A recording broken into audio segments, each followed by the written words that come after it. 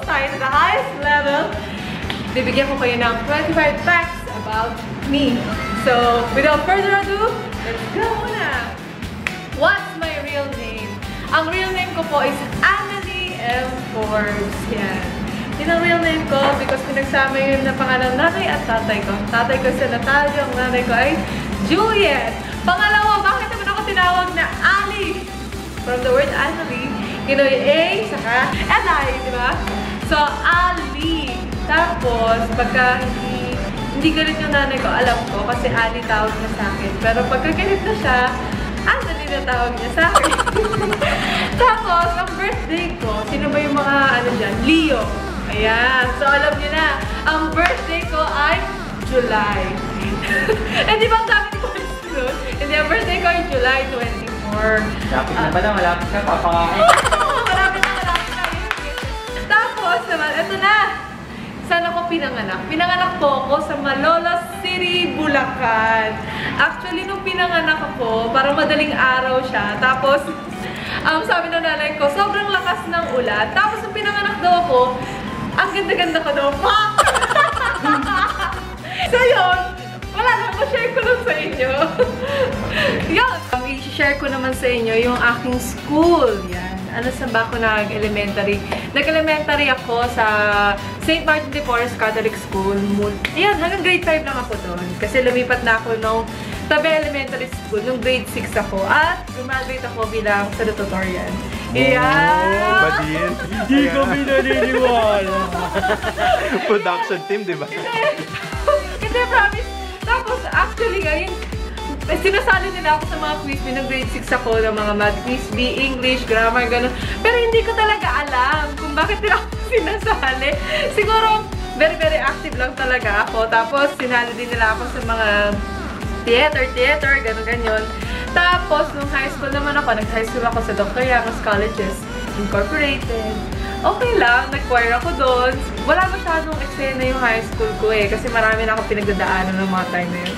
Tapos, um, college naman, nag-STI Cubao ako, saka nag-UP Diliman ako, Conservatory of Music. Pero, ano lang ako eh, 2 years lang ako doon. Mostly kasi crash course na talaga yung kinukuha ko dahil nung 17 years old ako, nag-start na ako mag-work. Yun. Ano yung naging work ko? Um, naging lounge singer ako. Nag-start ako maging lounge singer noong 2010. Pero mostly, um, kinakanta ako ng mga 5-star hotels, katulad ng Sofitel, um, Diamond Hotel, um, Manila Hotel. Tapos, marami pa, yung mga hotel-hotel dyan. And then, ang nagturo sa akin ay si na mga jazz songs ay yung nagturo din kay City Navarro, si Tatay Romy San Mateo. So tara, next next tayo! Ngayon naman, isi-share ko sa inyo ang aking mga likes and dislikes. Okay, sa food muna tayo. Sa food, ayoko ng pork. Kasi nakapanood ako sa YouTube ng yung pork kinakain niya yung kanyang sa kapupo. Tapos iniisip ko, kinakain ko rin yun. So, mula noon, hindi na ako nag-pork. Tapos, ayoko rin ng manghang masyado. Kasi ngayon na ako sa maanghang. Yun ang mga beshi. Pero mahilig ako sa maasim at maalam na mga pagkain. Kasi sa mga favorite ko na fruits ay mangga. Manggang kinawa. Di ba? Ang asim. Ang sarap-sarap. Tapos, um, may nagtatanong din sa akin, paano ako naging beauty queen? Actually, isang pianista nung, sa New World Hotel, sinabihan ako na kailangan daw ni Dr. Rabinay ng representative from Miss Makati noong 2010.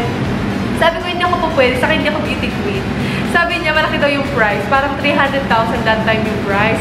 Tapos sabi ko bigla, paano sumali? Yun na, the rest is history. Nagbinibining Bulacan ako. And then, nagbinibining Pilipinas ako. Nanalo ako ng first runner-up. Tapos, um, nag-Miss Sophie Philippines pa ako. Tapos, uh, Miss Grand International. Nag-third runner-up ako doon.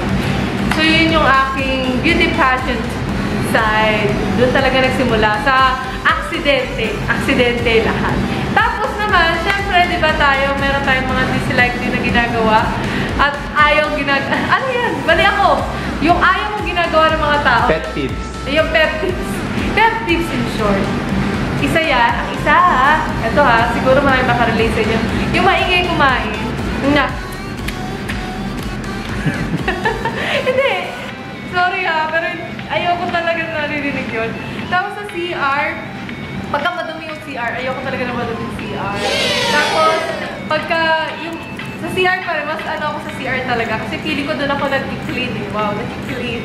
Tapos, ayoko din yung ano, yung sink. Basang-basa. Basang-basa. Tapos, may natitira sa gilid na something, toothpaste, whatever man yan. Ayoko talaga nun. So, ngayon naman, share ko sa inyo paano ako nag-start sa showbiz career ko. Yes! Actually, nag-start yung showbiz career ko nung nanalo akong Miss Grand International. Um, kinuha ko ni Direk Bobo at Mortis for Banana Night. Yeah, nag nag-guest-guest ako doon. Kasi nga, beauty queen ako eh. So, um, kasama sa mga perks na nagagawa namin yun, yung mag-guest-guest sa mga shows, di ba? Tapos, after nun, um, nag-guest din ako sa uh, It's Showtime kasi kasi nga nanalo ko ng third runner-up. At that time, 2013, sobrang hot ng Philippines sa international pageant. Parang, sabi nga nila, ibaba na nila yung Philippines dahil halos lahat ng representatives natin that time ay nanalo. And then, after that, pumasok na ako sa Pinoy Big Brother. Yan! Doon ko na nga nakilala sila Will, Bitch, Jessie Corcuera, Balina Bautista, and Aura Asorcon. Yan. At, ha? Si, ah, sila Tanner, si sino ba? Ay, si Jessie kasi kasama ko ngayon dito, ha? Magay ka. Hello! Ayan.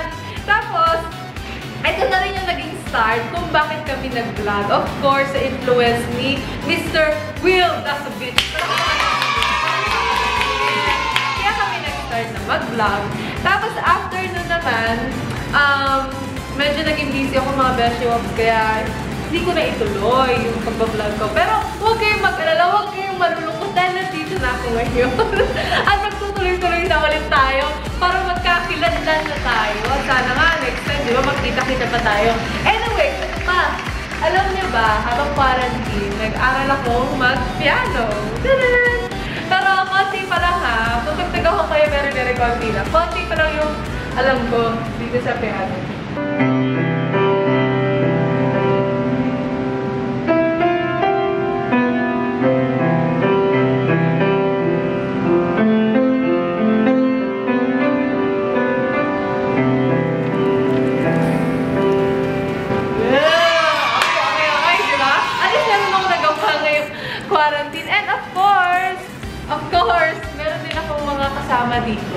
Asa na yun? Asa na yun? Eh, eto mapakilala ko. Lumakad siya dun. Eto muna, isa sa mga kasama ko ngayong quarantine. Eh, etong baby ko. Baby ko, baby ko, ang baby ko, baby ko. Ayan! Say! Ayan, ayan. Taran! Hi ka! Hi! Mukhang hindi ka masaya. Hi ka! Hi! Siyempre, si Stella, bebe. Ayan. Siya isa sa mga kasama ko dito sa bahay, si Stella. Tapos pet lover din ako kasi meron akong isang Boston Terrier. Yun yung unang-unang dog ko, niregalo lang din sa akin yun, si Georgie. Ayan, kita niyo yung picture niya. Tapos si Whitney, yun naman ay German Shepherd. Tapos meron kami dalawang askal. Si Chin Chin at si Beauty. Ayan, mga... Kasi, oh, meron pa kami pusa. Meron kami pusa ka, nanganak kasi si Sushi. Yun, yung isang pusa namin yung malaki. Na, ngayon, nagkaanak siya. Ang pangalan, Shamsi. Pero meron siyang... Hindi meron siyang defect sa paa niya. Parang si Stella. Tapos yung isa naman, si... Tapos nanganak ulit siya. Ang pangalan naman, COVID. COVID Brian. Hindi, bata pa yun, bata pa yun. Papakita ko yung picture. Ayan, yan siya. So yun sana nag-enjoy nyo tong vlog ko kasi ngayon mas nagkakilala na tayo. At sana mas makilala ko pa kayo more, more, more soon. Sana magkita-kita tayo after nitong COVID. But for now, syempre magkita-kita tayo dito sa aking vlog muna, di ba? Di ba? Di ba?